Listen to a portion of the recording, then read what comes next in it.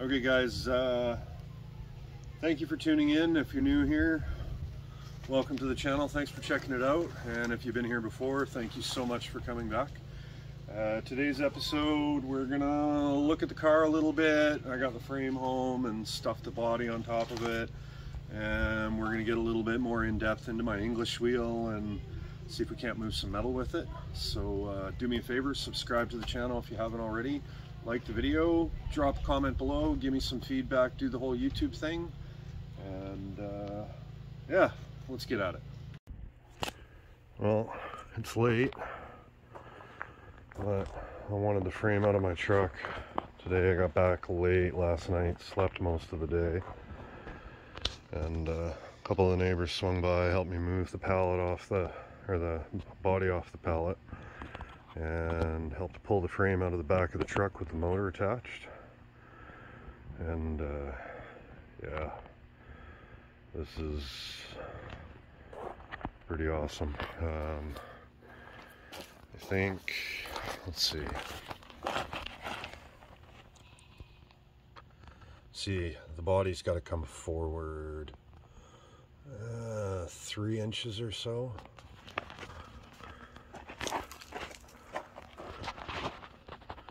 see the frame rails line up with my rockers pretty good, just the way that I planned.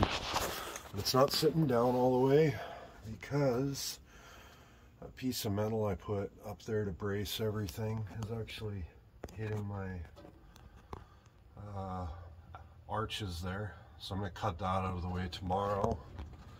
And up here, see, I'm gonna need a hole for that big HEI distributor. And I'm actually gonna have to notch for the heads a little bit. When I had it all planned out, I was ballparking a small block Chevy and ballparking the motor placement and it's pretty close to the plans, but I already knew it was gonna be hit and miss with the motor. So I'm gonna uh, notch out that firewall and uh, slide that body forward start putting some uh, some mounts on it so it's all one piece. But this thing looks mean. Um, that really shows how narrow this car is. I mean this is almost a T bucket up at the front. Yeah so back from the shop on the ground no one died. And uh, remove that and put that inside a tent beside it so I can put it to work. Well there may have been a minor miscalculation when I put this brace in that I'm about to remove again. Well, that's okay. It's just metal so I can cut it out and we will put something in that goes over the frame. Almost level to the back window. So I'm pretty sure when I filmed my frame video or programming it I mentioned that uh, these arches were going to clear this by just a hair. And uh, Yep. Yep. Uh, oh, I can see light. We're good. That's a blonde one right there. So we're good. The rear cross member clears the trunk. We're good there. And it's off the ground, so it's set back a little bit. This gives me room to put my bumper brackets and stuff. The trunk lid itself is going to open down there somewhere so I'll kind of be able to see the back of the frame. But uh, basically when the rear axle stuffs the top of the pumpkin can potentially come to right about here. So I think my package tray is going to be right across the bottom of the window and then roll it down kind of diagonally down to here and that'll be my interior I'll put a side panel in here and uh, in the middle here it's going to be notched out for a drive shaft tunnel, so it should work pretty good. It, uh, just enough room here for body mounts to squeeze between my rockers and my frame. Follows kind of the same line. We'll have to quadruple check all of the measurements. It's hanging up on the frame just a hair there. But, uh, oh, turn myself around in here. And transmission poking through. I cut out the rest of the firewall so we could tuck it forward. And uh, passenger side how cylinder head comes through uh, two and a half inches or so. And I think I'm going to end up cutting a section out of there so I've got room to lift my distributor straight up because pet peeve, not being able to pull the distributor while everything's together is uh, the reason mechanics want to kill engineers. And since I'm both in this case, I got to make sure I can actually work on it, but um, I think the next step is to kind of get some metal strapped between the body and the frame in, well, at least four corners to hold everything straight. I'll cut that piece of metal out of the way so that I can make sure everything's straight. Once I've done that, I can actually start putting the firewall together around the motor. I guess all my plans for bead rolling have changed because everything else has changed and uh, thankfully there's lots of foot room and I couldn't quite touch the firewall because uh, well I'm going to a stick but that bell housing well the bell housing now takes up space I had planned on putting a gas pedal so we may go Model T style and put the gas pedal on top of the transmission tunnel so taking a step backwards here, trying to show you guys the inner working. I took some stuff apart. Get the upper anvil holder on the ground. I'll show you that in a minute. This is the uh, lower anvil, lower tool post. Now, all I did was thread this all the way out. Let's see, got an Acme threaded nut on the inside. Sides are all polished down. There's a little bit of WD-40 on it, just because I wanted everything to break in good.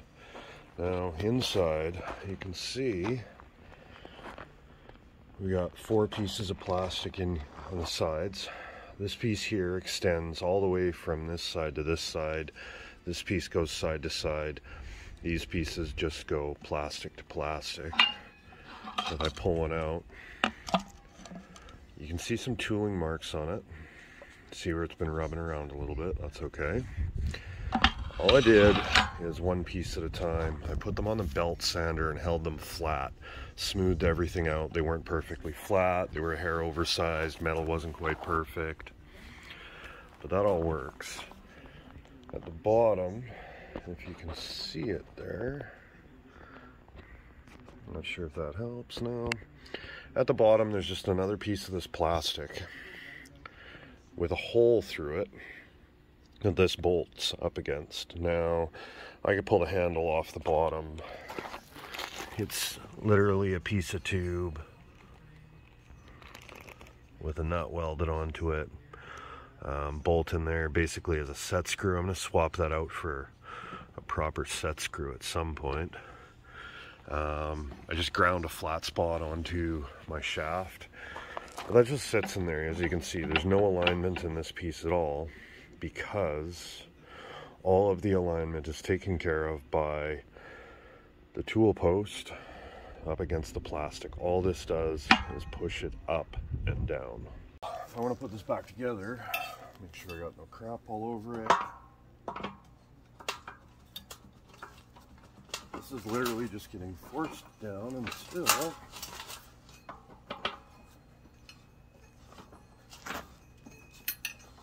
And see, because it's Acme thread, you can't cross thread it, you can't mess it up. And that's only threaded in a couple of turns. And it's already pretty rock solid. Um, I may still add my jacking screws here, but you can see like this is up. Well, farther than we could ever use it with the English wheel on. You figure four inches down from center the wheels down here. So built this with some other capabilities in mind. And uh, I'll get to that in a minute. Um, just get this threaded down all the way here.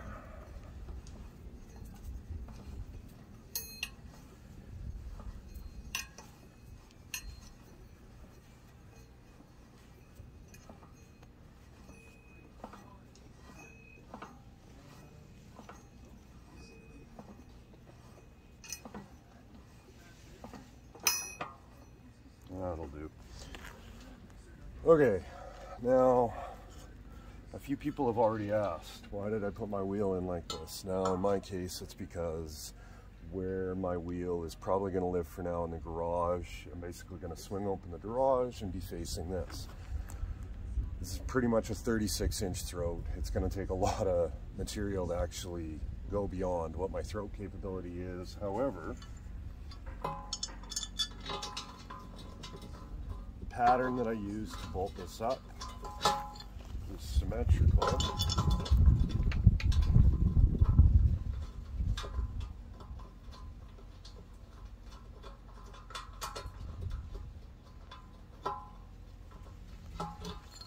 Be a lot easier if I didn't drop my hands on the gravel, but try, I tried to show everybody.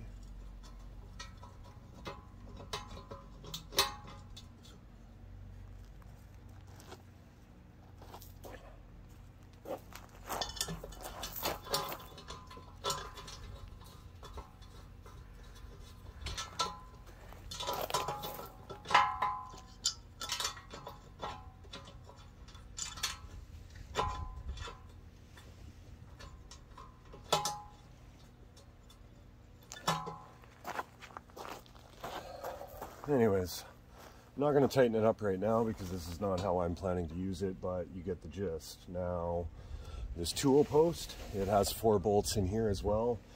If I was to unbolt this right now and rotate it 90 degrees, tool post would bolt on 90 degrees as well.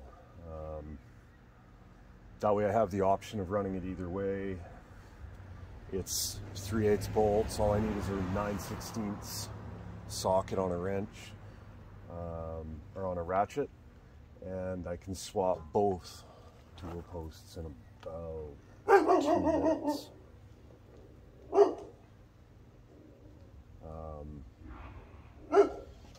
yeah, it makes this extremely versatile and with the range and height capability I have, if I decide I want to go to a smaller or a larger upper wheel, I can if I want to change out this for say a three or a four or a five inch wide wheel, all I'd have to do is build an upper anvil holder. Um, same thing with the lower, since all it is is a symmetrical pattern. I can put whatever wheels on this I want. Now, I mentioned in the comments and I mentioned in the video and even a minute ago here, but uh, once I got started working on this, finishing up the design, I, uh, I realized I could make this a whole lot more versatile. And uh, on my way down island, I stopped in a Canadian Tire. They've got a bunch of air tools on clearance. So I picked up oh, next one here. Uh, air hammer, short barrel. Um, I wasn't sure if the short barrel would help me, but it was on clearance for $16 Canadian, which is what, about two and a half bucks American. Um, it was on for, I think, 80% off. I uh, took it down to my buddy's shop and cut the handle off. And then I spun down part of the handle on the lathe. I left a boss for me to drill and tap for quarter inch pipe thread. And uh, cut a section of one and three quarter 120 wall DOM, welded a sleeve on here. And uh, kind of split up the middle and now what I have is a clamp. Now if I go onto Amazon I can get planishing uh, chisel hammer bits for the air hammer. They are a 10 millimeter shank, they fit directly in this. So what I'm going to do is I'm going to make a mount that attaches here on this particular air hammer. It has a threaded hole in the top and works out perfectly for my plan because I can put a mount here, I can attach it through the top so it has something to butt up against. And this is going to mount here, which is where the capability to move this so far up is so good because I can move it up to adjust. Now, there's actually a three inch hole through the plate here. So if I decide to run airlines internally, I can. Um, I found lower die kits, um, several radiuses. They are steel or tool steel, hardened tool steel. They have a one inch diameter round shank. So I have a piece, uh, piece of one and a half inch quarter wall DOM, about two inches long, which I am making a plate to bolt onto my lower tool post so that I can drop in lower anvils specifically for the planishing hammer in different radiuses, or since I have access to a lathe, I can whip something up myself. Um, if I decide to go to a square lower post, I can build something similar to a uh, thumb die, shrinking die. Um, I've left my options open on this, and that is the reason why. The beauty of this is I had designed a frame you know, similar to a lot of what's on the market, similar to Carl over at Japans, Make It Custom, um, few others that I've seen, but obviously his is on the market right now. Um, found another YouTube video where somebody cut up an air hammer and that's kind of my speed. No offense to any of the other guys, but I really wanted to do this one myself. Um, so the intention is, is the next trip down in a couple of weeks, I'm going to finish up my mount for my hammer. I found an air control pedal on Amazon for under 30 bucks. I found air control valves and all I need beyond the pedal, the control valves, is a little bit of line and the air hammers, which are cheap. So uh, that's the next step.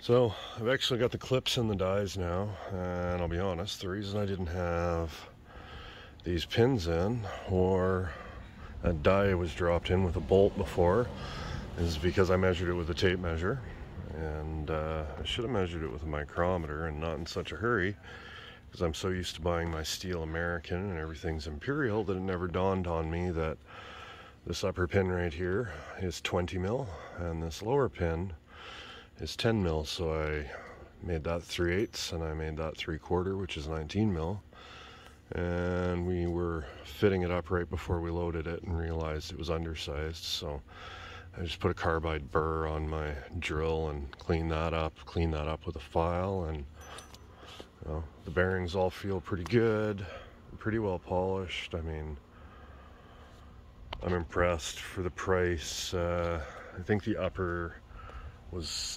$150 with the pin and the five piece lower set was about 160 bucks.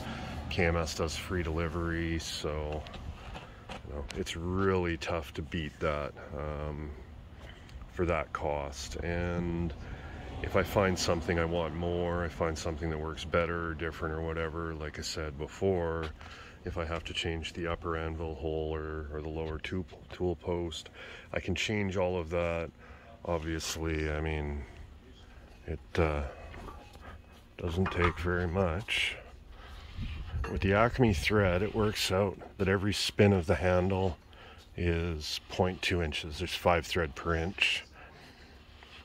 So I can change the height on this reasonably fast.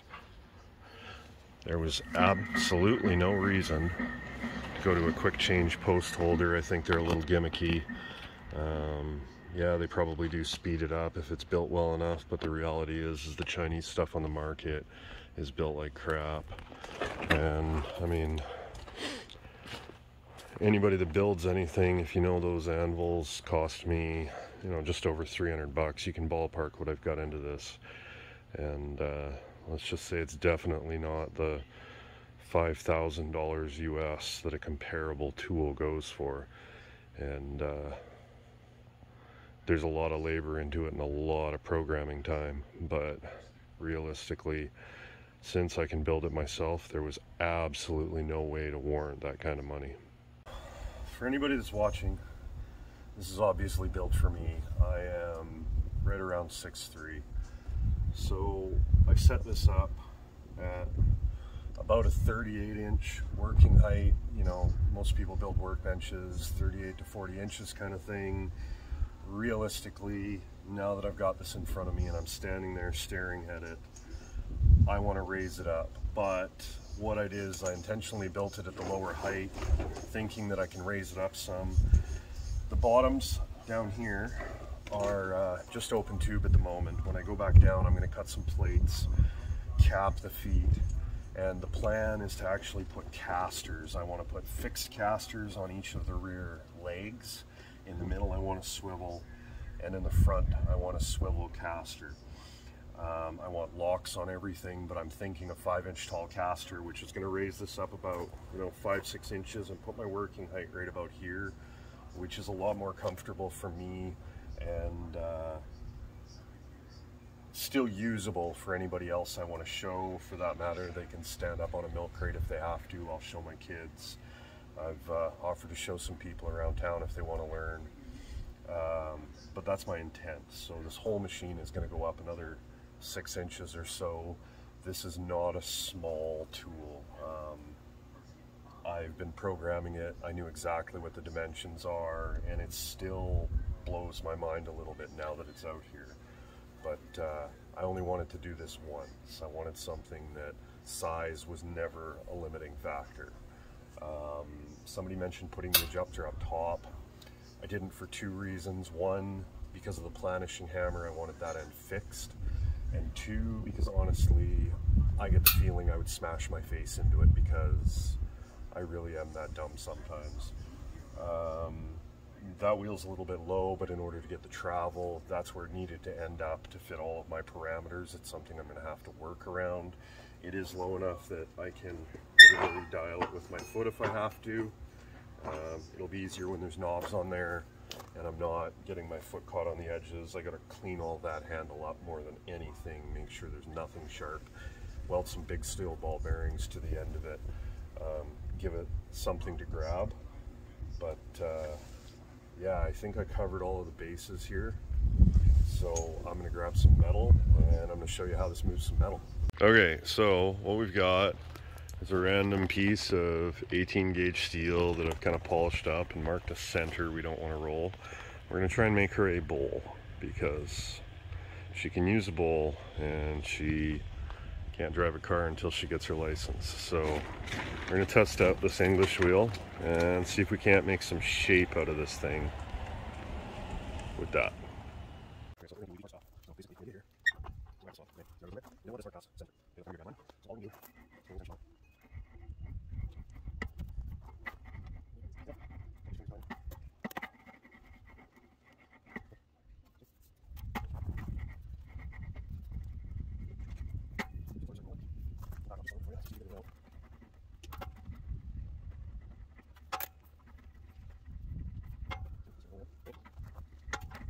trying to see how this works.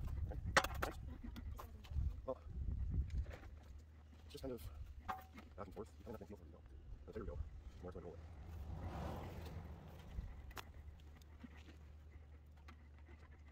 Pieces because it's out of block off. You know what I mean?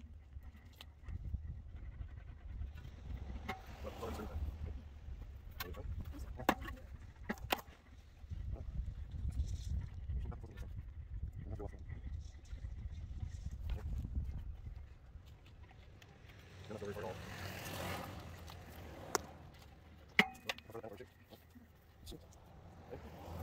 We'll right? Just flat, okay. There we go. Is there a little patient? Okay, we can kind of some. A little quicker. Okay. And you can also roll this in spot every time. You know what I mean? So, you're supposed to work that forward. Makes sense?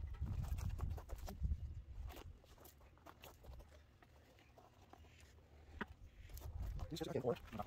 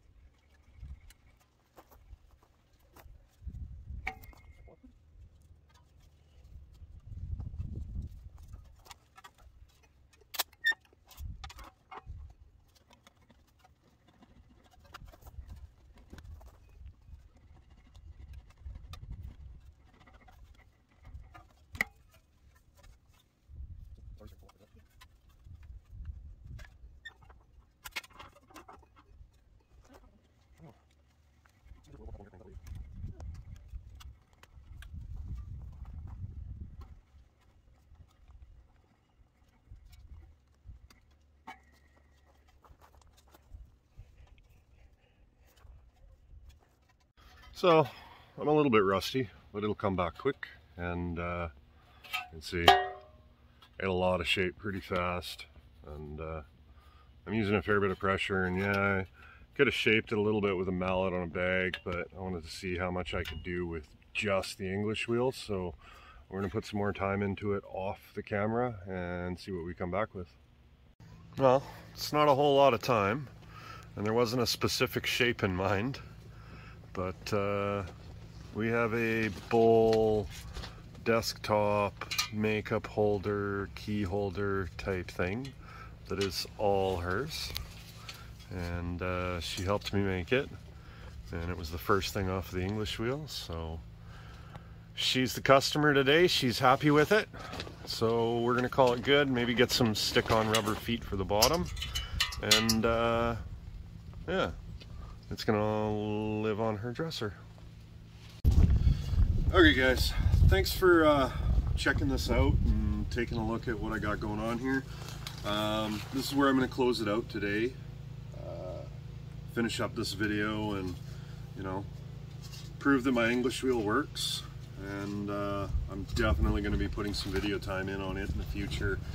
I'm going to start making some panels for the rear roof section of the rat, of the rat rod and uh, we're going to start attaching that body to the frame and uh, patching up the roof, finishing it all up on the next episode. So uh, do me a favor, if you enjoyed the video, subscribe to the channel. Uh, it helped me out huge. Uh, like the video, drop a comment, give me some feedback. Um, you guys are going to come along as I reteach myself to use the English wheel. I can make some pretty cool curves, but I'm definitely a little bit rusty and I'll see if I can uh, add some pointers along the way as I go for everybody that wants to learn while I'm relearning. So uh, yeah, thanks for hanging out with me and I'll see you on the next one. Bye guys.